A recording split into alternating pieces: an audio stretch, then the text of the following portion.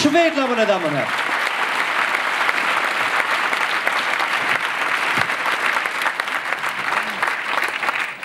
Einen wunderschönen guten Abend.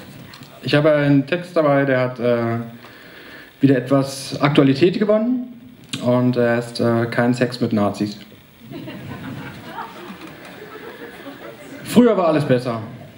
Die Grenzen waren klar abgesteckt. Auf der einen Seite 30 Kameraden, auf der anderen Seite etwa 2000 Gegendemonstranten, dazwischen etwa 3000 Polizisten.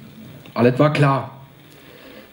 Dann sagen wir noch ein paar lustige Lieder, wie zum Beispiel Ohne V-Mann wärt ihr nur zu viert. Alles, alles war irgendwie schick, alles war so einfach.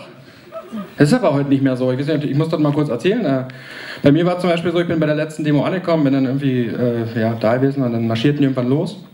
Und dann fingen die auch an zu singen so, hier marschiert der Nationale. Ich so, scheiße, Alter, war ich auf der falschen Demo gewesen.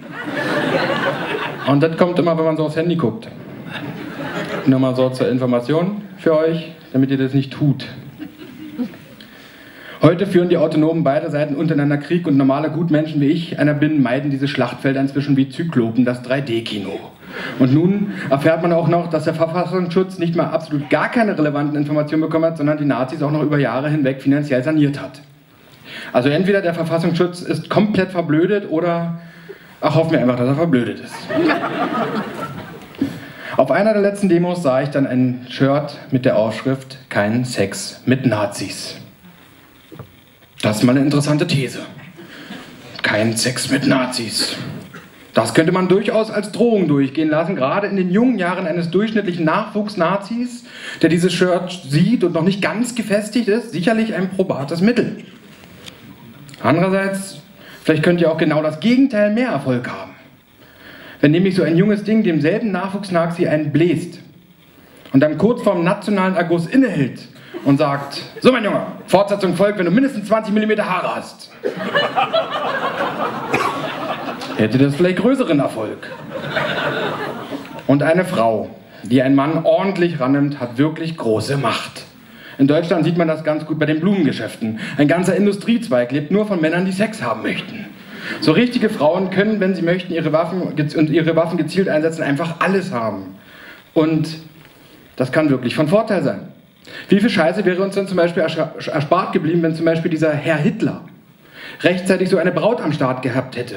Nicht so einen interessierten Napfkuchen wie Eva Braun, nein, so ein richtiges Weibsbild. Eine Frau wie ein Peitschenhieb, ein, ein Oralapostel. Dann hätte der gar keine Zeit für irgendwelche Flausen gehabt. Und so eine Beziehung entwickelt sich dann natürlich auch weiter, ne? Ehe. Was passiert denn dann, wenn Herr Hitler wieder mal spät nachts nach Hause kommt und sich dann heimlich in das gemeinsame Ehebett schleichen möchte? Vielleicht, ihr solltet euch jetzt auch Hitler unbedingt im Pyjama vorstellen. Wahrscheinlich wäre Frau Peitschenhieb aufgewacht und hätte Herrn Hitler mal ordentlich den Scheitel gewaschen. Du, Adolf! Warum kommst du jetzt erst nach Hause? Sag mal, du stinkst doch schon wieder nach Rauch. Hast du schon wieder einen Krieg angefangen? Hä? Dieser Josef und dieser dicke Hermann sind kein guter Umgang für dich. Und außerdem wolltest du die Waschmaschine reparieren. Und solange du die Waschmaschine nicht repariert hast, kannst du Sex abschreiben. Und überhaupt, wie siehst du aus? Rasier dich mal wieder. Und ich schwöre, wenn besagte Frau Peitschenhieb in der Kiste nur im Ansatz so drauf gewesen wäre, wie ich es als Schreiber im Kopf hatte während des Aufschreibens, wäre Herr Hitler noch in derselben Nacht in einen Blaumann geschlüpft. Und wenn dann Goebbels am nächsten Tag angerufen hätte, würde man am, Ende, am anderen Ende der Leitung nur einen kleinen, lauten, frisch rasierten Mann hören. Ja, Josef. Nein, ich kann nicht. Nein, Josef, heute wird bei mir nichts. Ich habe meiner Frau versprochen, gemeinsam Kerzen in einem schwedischen Möbelhaus zu erwerben. Und ein paar Anrufe später hätte Goebbels nur noch mit, äh, hätte Goebbels mit ein paar neuen Freunden eine gut funktionierende Werbeagentur aufgemacht. Rudolf Hess hätte Sozialpädagogik studiert. Heinrich Himmler hätte Kastanienmännchen gezüchtigt und Hermann Göring wäre der Erfinder von Nordic Walking und Pilates-Training geworden. Aber nee, so war die Kacke am Dampf und alles nur, weil Herr Hitler keinen Luder zur Frau hatte. Da muss man doch draus lernen. Ich befürchte allerdings, wenn nun der Verfassungsschutz statt Geld den Nazis weiterhin zum offenen Fenster reinzuschmeißen, anfängt, den Sex für diese gezielt zu subventionieren, dass wir dann noch viel mehr Nazis hätten. Das ist ein Teufelskreis. Vielleicht sollte man jetzt, wo man wirklich alles versucht hat, einfach mal versuchen, mehr Förderung für Bildung und Kultur zu, in Betracht zu ziehen. Vielen Dank.